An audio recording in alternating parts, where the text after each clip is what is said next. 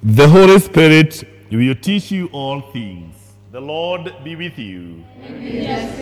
A reading from the Holy Gospel according to John.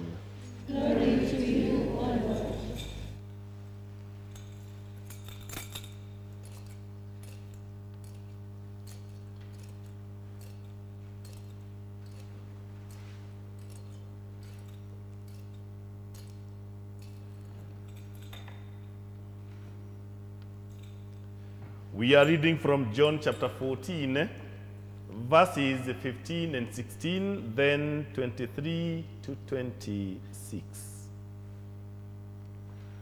At that time, Jesus said to his disciples, If you love me, you will keep my commandments.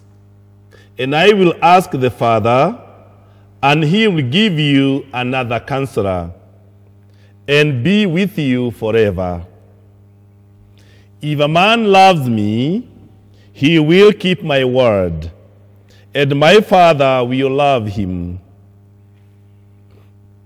And he will come to him and make our home with him. He who does not love me does not keep my words. And the word which you hear is not mine, but the Father's who sent me. These things I have spoken to you while I am still with you. But the Counselor, the Holy Spirit, whom the Father will send in my name, he will teach you all things and bring to your remembrance all that I have said to you. The Gospel of our Lord. Praise to you, Lord Jesus Christ.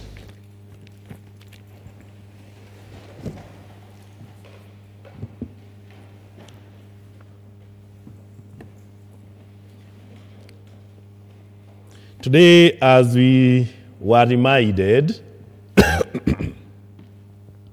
we celebrate the Pentecost. Pentecost means the 50th. It is a feast celebrated on the 50th day after the Passover feast by the Jews, and a feast celebrated on the 50th day after the feast of the resurrection of Jesus by the Christians. The Jewish Pentecost was originally a post harvest Thanksgiving feast. Later, the Jews included it in the remembrance of God's covenant with Noah after the deluge and with Moses at Mount Sinai. When Jesus was about to go to the Father, he tells his disciples that he would not leave them alone. He would send another of the same kind as to be with them, and this was the Holy Spirit. We read this in John 16, verse 7. Nevertheless, I am telling you the truth. It is for your benefit that I go away, because if I don't go away, the counselor will not come to you. If I go, I will send him to you. John 16, verse 7.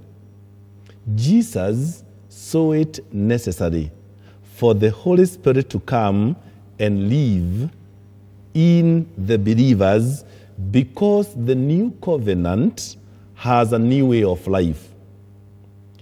That is, human beings operating with the Holy Spirit within, and that is us, you know. Unfortunately, many believers live their lives ignoring the Spirit. There's somebody who told me the other day that, uh, you know, Father, nowadays we are observing that uh, you preachers are preaching a lot and saying almost nothing about the Holy Spirit. Yet, it is not possible to live the life of Jesus,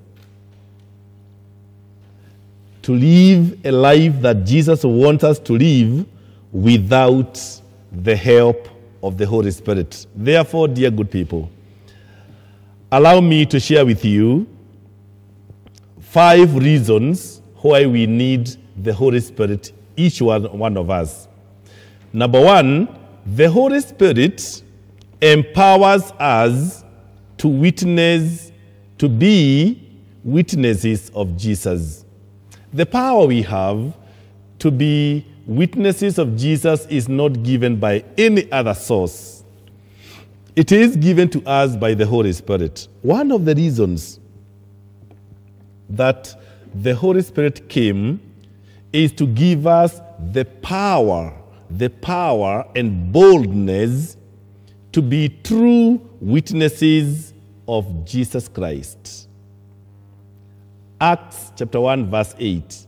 But you will receive power when the Holy Spirit come on you, and you will be my witnesses. Many people are quite afraid to speak about Jesus or believe they are unqualified. I don't know how many of you seated here in the company of non believers would stand and boldly speak about Jesus. Sometimes we think we are unqualified. I don't know what would happen if I came to your church uh, one Sunday and I say, one of you stand and come and preach. Then from there, excuses starts coming, one after the other. I know, Father, my throat has been unwell. You know, my eyes don't see very far. my, my voice is not very good. You know, I have not studied the catechism. I am not baptized. I am not this. I am not the other one. And if you look at it, it is the same boldness that we lack to defend our faith. Sometimes we are bombarded by so many vibes, negative from outside. And for lack of boldness and courage, we say the, the useless, the useless old adage that if you cannot beat them, join them. That is not true. That adage is not very straight. There comes a time, dear young people, there comes a time that even if you stand alone against a thousand, you stand and witness for truth. If a lie is told a million times, it does not become a truth. And if you be at some point the only person speaking that truth against a multitude of others, in this context, what you need is the presence of the Holy Spirit to stand. Because, and I tell you this for a fact, I've been in this world longer than all of you. There will come a time when you'll be standing on your own. Because the world, and you go and read John chapter 1, verse 1 to 18. Uh, many a times we live with people who love darkness more than light, lies more than truth. But even if it becomes that time, it is you who stands contrasting everybody else. This is where we need the presence of the Holy Spirit to that, so that we can stand and witness to the truth. Number, one, number two, the Holy Spirit makes us able to worship God. Did you know that true worship and meaningful worship cannot be done without the presence of the Holy Spirit? You will see a people worshiping and a people who are worshiping minus the, the presence of the Spirit It's very evident that you can be able to see that. Because it happens. Because we try to, to sing, to make statement, to pray and shout, to make statement, to do this or the other one, to make statement. No, when the Spirit comes, our worship just flows. And you don't strain. The moment you find yourself straining to worship, it means you are on your own trying to make statement. You are making statement to nobody because when you, when you try to worship to make statement, it only means that you are an agent of darkness. With the Spirit, then we are able, we are able to worship. I don't know whether you have ever heard this statement. Hey, leo church ilikuwa ina bore. Have you ever heard that? If you ever hear that statement, just know the person in front of you is a human being minus the Spirit of God. Did you know, minus the presence of the Spirit, there is nothing enticing about worship? There is nothing attractive about the church. We find ourselves burdened to go and worship. We find ourselves bored.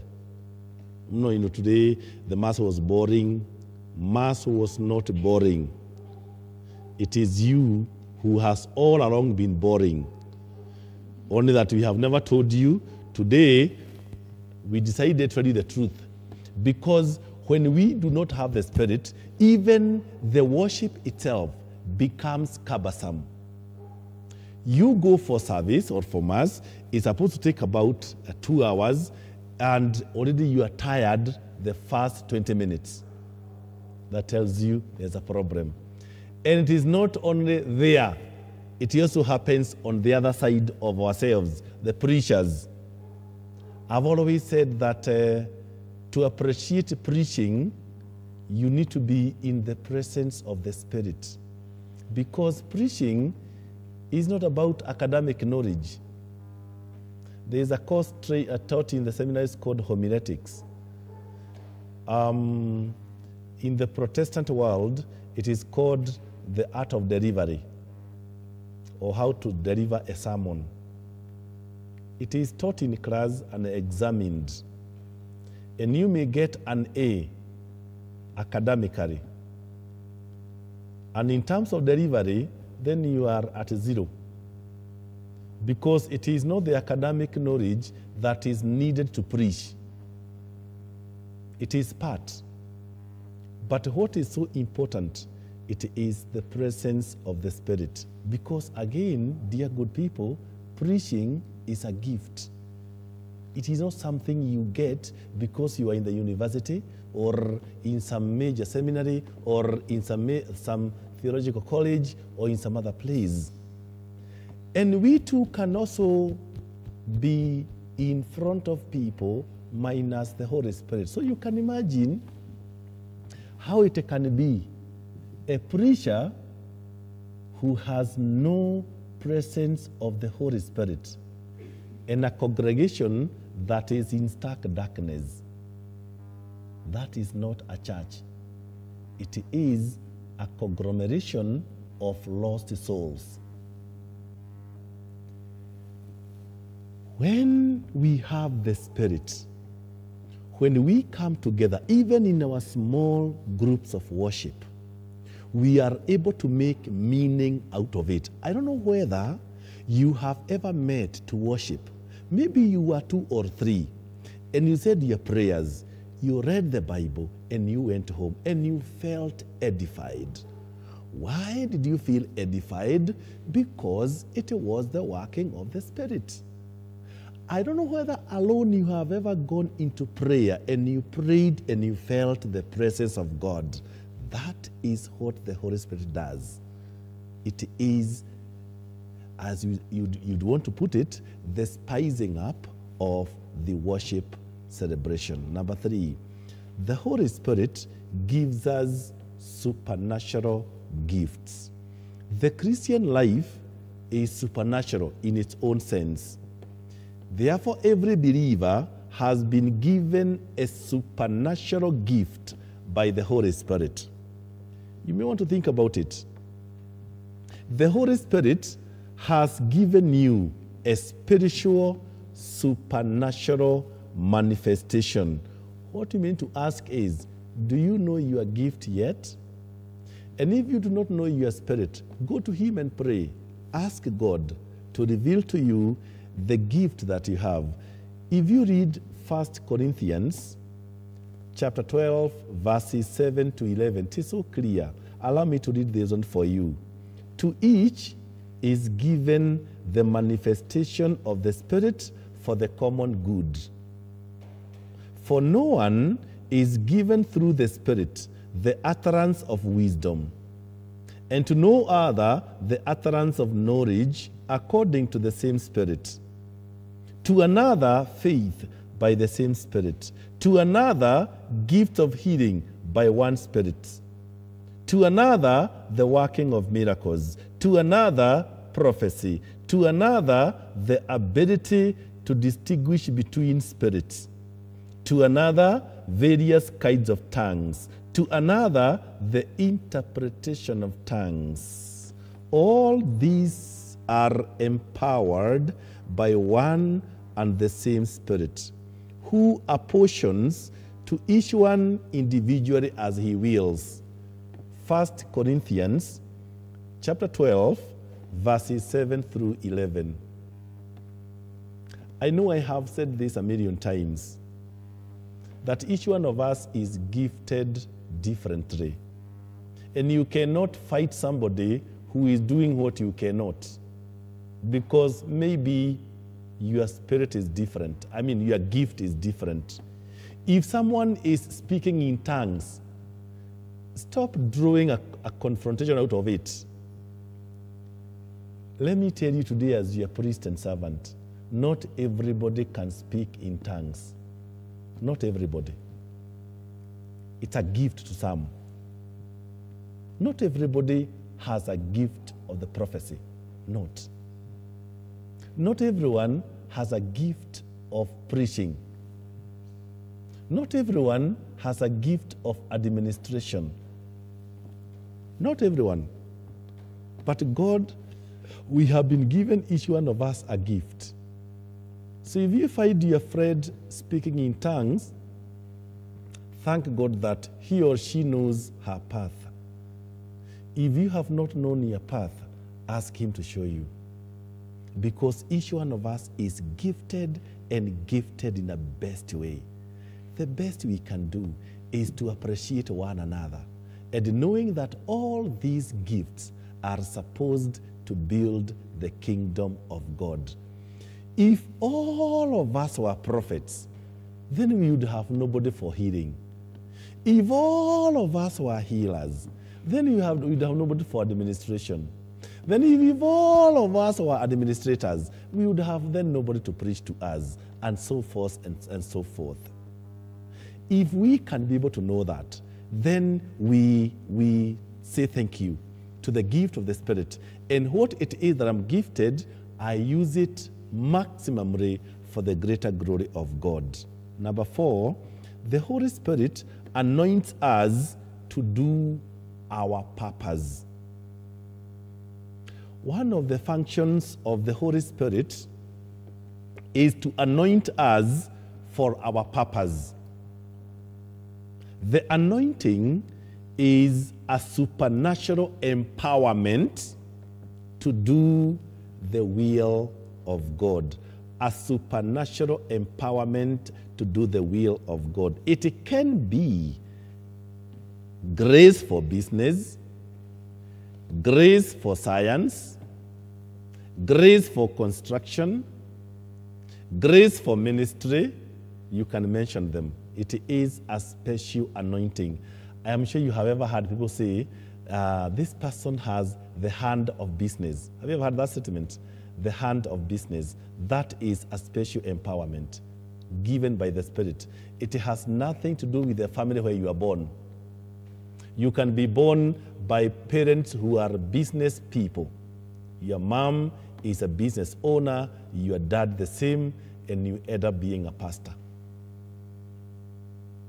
Or your mother can be a pastor, your dad a pastor, and you end up in the healing ministry. Or you may end up being a teacher. Because the anointing is special for everyone. And each one of us has a unique anointing. In fact, what we need to be asking is, uh, what am I anointed to do? But you see, you can't ask that if already you do not know your destiny and your purpose on earth. Why are you living today? Once you know your purpose, then you will know that with your purpose, you are going to be anointed, anointed for that. If somebody is doing very well in some area, that could be their anointing. Pray that they thrive there and that you pray for yourself, that you also become good in whatever it is that you're doing.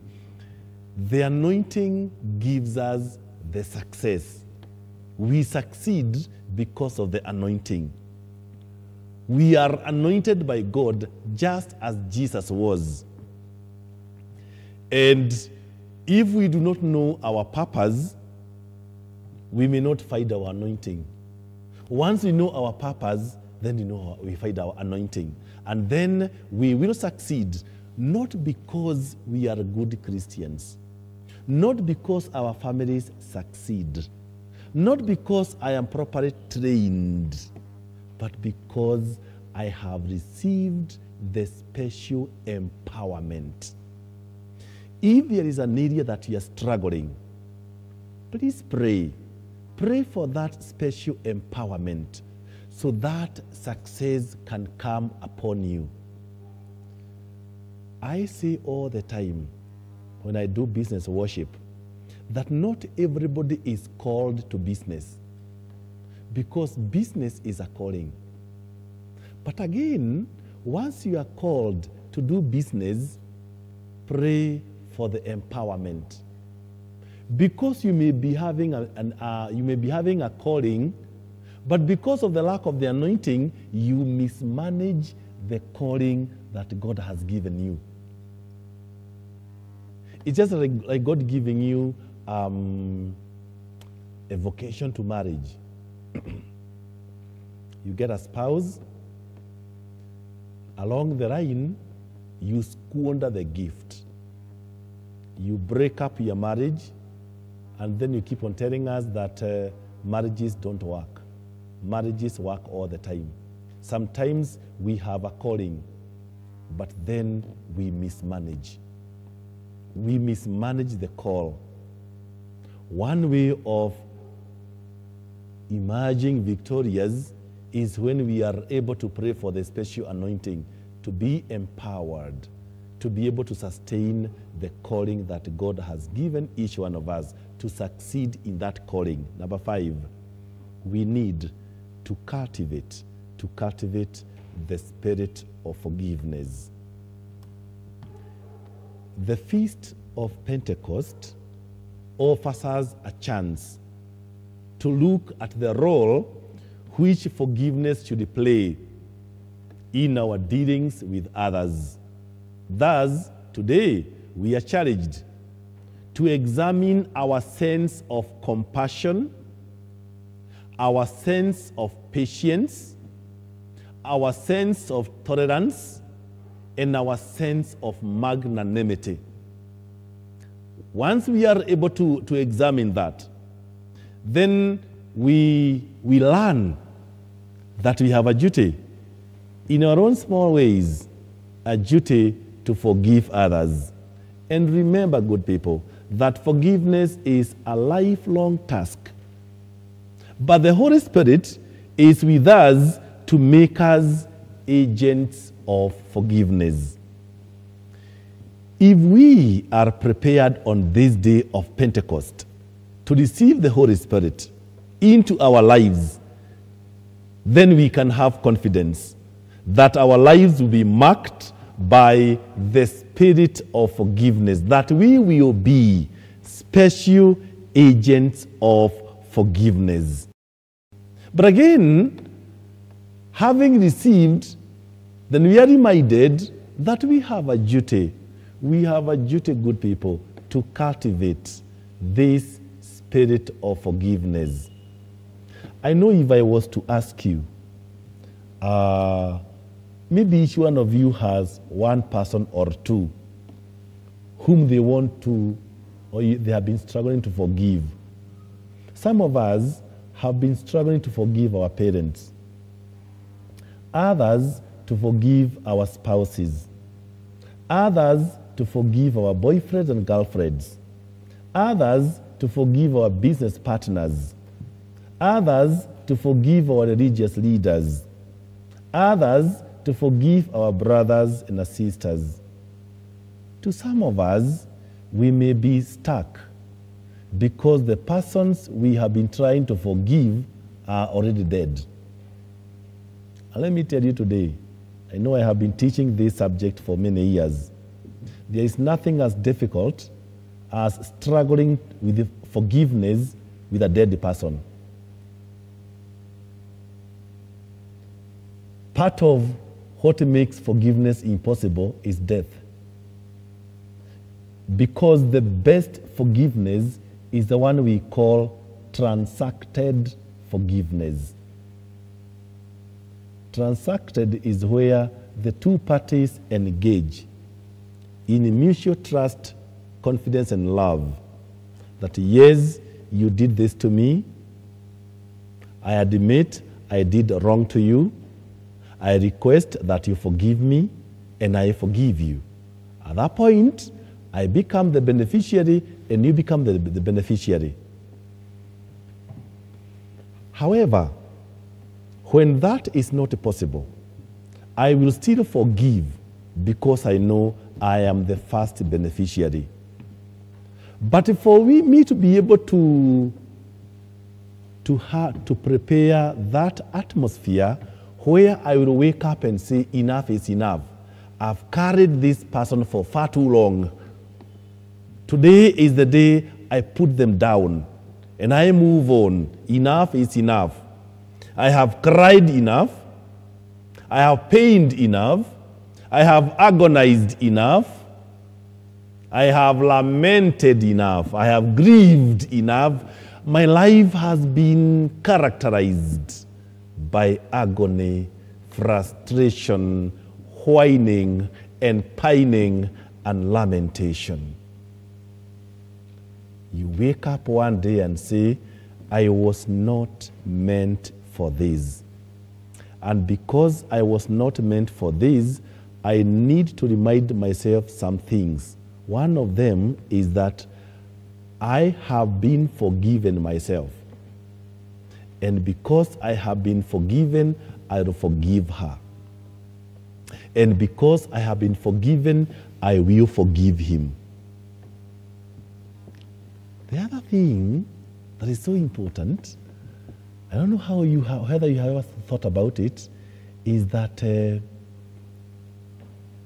seeing how God has been working through the actions of the offender. Sometimes the offender could be an agent sent by God to remove you from your comfort zone. Sometimes we never see it that way. And maybe you are, you, are, you, are, you are crying but this person did this or the other one. Maybe later you may be able to see the silver lining. There is always a message that God communicates to us. The problem is we never see that silver lining. Somebody may have worked so hard to make sure that you do not stay in a certain job and you are sacked and you've been making noise and you never knew that maybe you are so comfortable.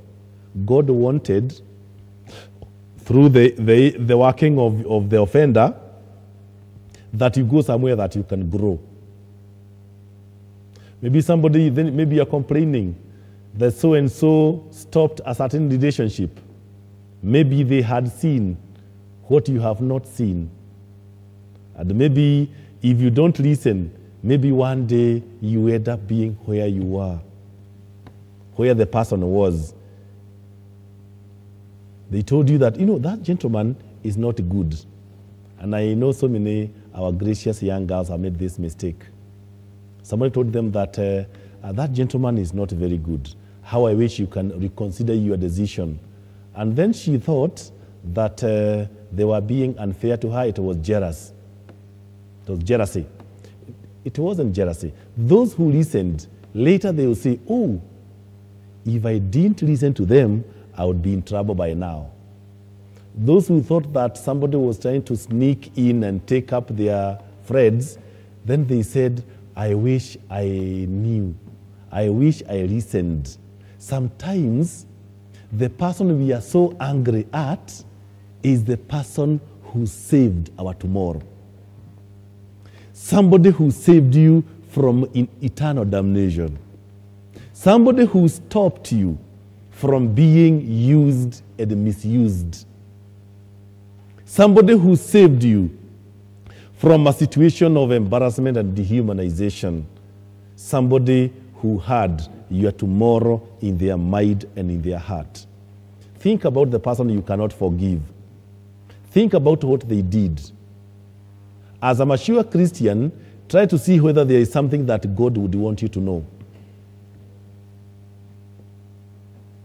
The other thing is invest in the life of your offender. This is the most difficult part. Investing in the life of the offender.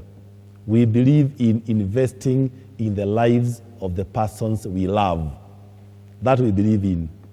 But there's something, big, something bigger than this investing in the life of our offenders. How do we do this? You can do this by praying for them. I, I know I, I had asked these questions sometimes back, I think sometimes last year, but I wouldn't mind to ask it again. I'm assuming that um, I worked with you and I engineered your sacking unfairly. I said so many bad things about you, and eventually you were fired. Now I'm, I'm, I'm, I'm there. Time rolls. I am out, out of employment. God opened avenues for you. Now you are a boss somewhere. Tomorrow, my son comes to look for a job, and you are the final say.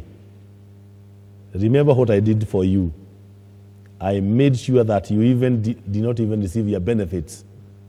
You went crying, and I was left behind dancing. But my son is coming to you for help. What will you do? Please talk. What will you do? You killed my son. what will you do? Tell, tell the son that your dad is a thief or your dad is a witch. You see, humanly speaking, you would feel that this is my moment of shining and revenge, isn't it? But there is a better way for those who, are, who have matured in their faith. You can invest in my life. You could be the reason why I'll get transformed. Differentiate between our differences and the needs of my son. Investing in my life is helping my son, knowing too well what I did for you.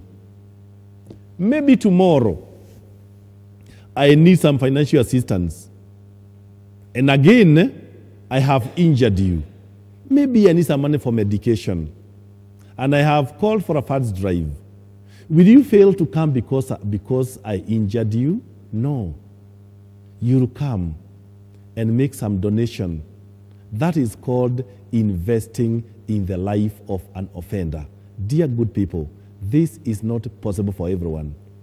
This is only possible for them who have known who Christ is and those who have known him at a personal level. Those who operate in spirit. Those who operate in spirit will do what I'm talking about because it is not simple. Investing. Sometimes you need even to give gifts, material gifts That is called investing in the life of the offender. If you can do that, then you can easily forgive. If you can do that, you can easily forgive. The other thing is that uh, focus on the facts, the issues that were surrounding what happened. What are the facts? Leave out that which was blown out of proportion.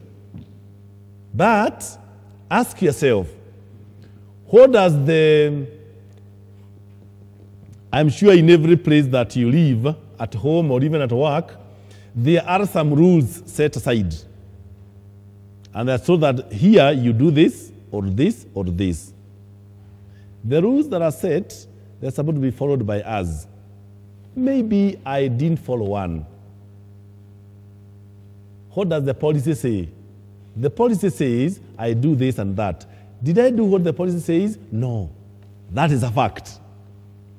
What does, the, what does the policy say that should be the repercussion? The repercussion would be you, some salary is deducted. Is that a fact? Yes, that's a fact. Once you lay down the facts, then you realize that the pain is mitigated because now you start owning up to the mess. Had I not started this, it would not have gone where it did go. Now, dear good people, there again, you need the presence of wisdom, a gift of the Spirit again.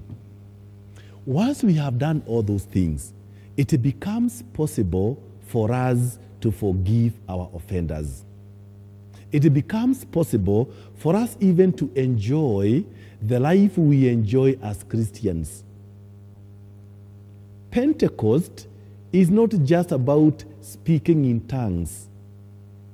Pentecost is also more about bringing home those who have gone away emotionally. It is also about bringing home those who have gone away spiritually. It is about remembering who we are in Christ. It is also about thinking about the family unity. We have ever talked about being of one mind and one heart as a family. Today, I know you know of families that cannot interact one on one. I know you know of families where brothers and sisters cannot speak to one another. I know you know of families where sons and daughters cannot talk to their parents. I know I have been in various celebrations. We were burying a, a gracious lady another day. She has eight daughters, and four daughters could not come for the burial of their mother because they didn't like her.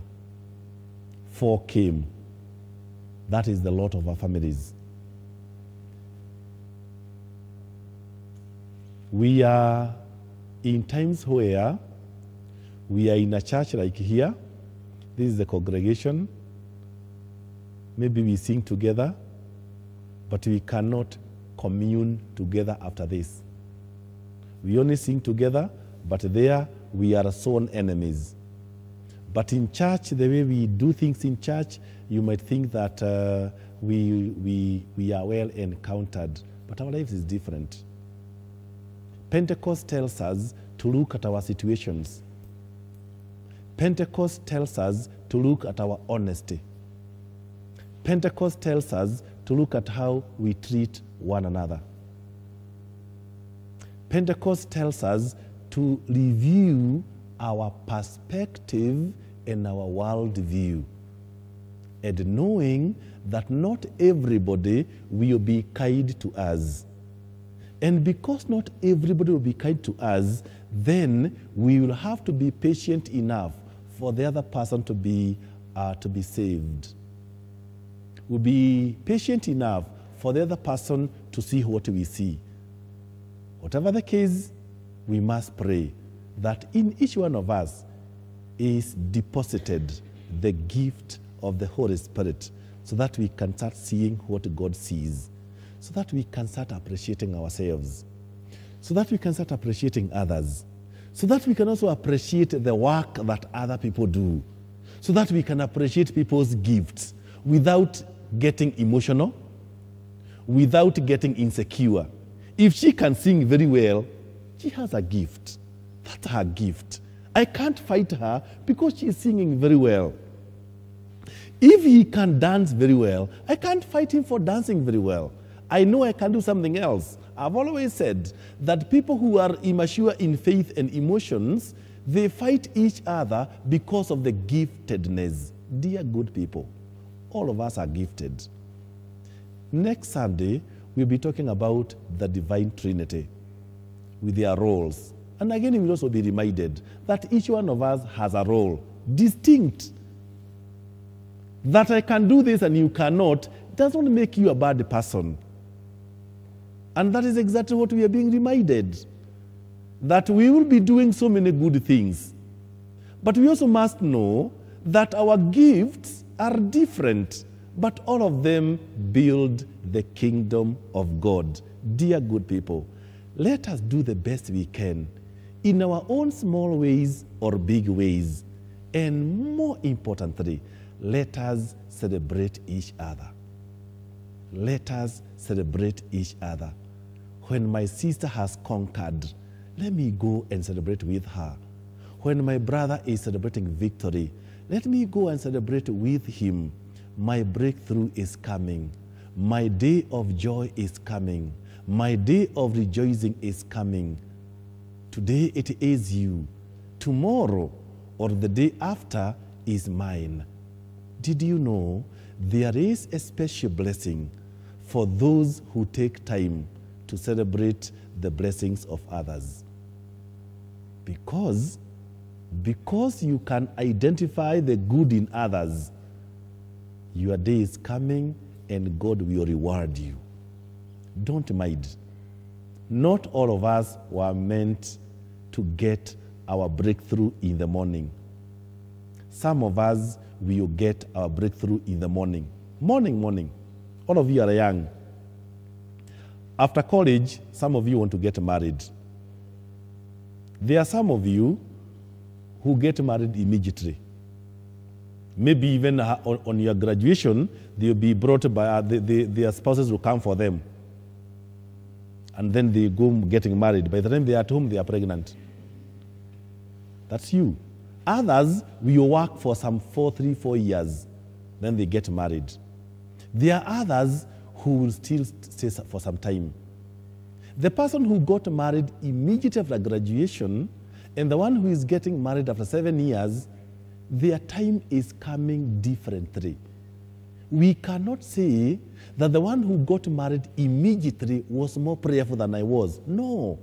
It is your time that has not come. As long as you have done your part, please don't mind. It is God who does the placement. Remember, God's time is not our time. The moment we understand that, we will never get ourselves troubled. She is getting every accolade. I'm not getting the accolade. She is getting the accolade because it is her time. Continue doing the best that you can, exercising the gift that you have. All of us, we build the kingdom of God. If all of us were to wake up every day to go and do whatever we do for the greater glory of God, we would be a happy people, a happy family, a happy church, a happy nation.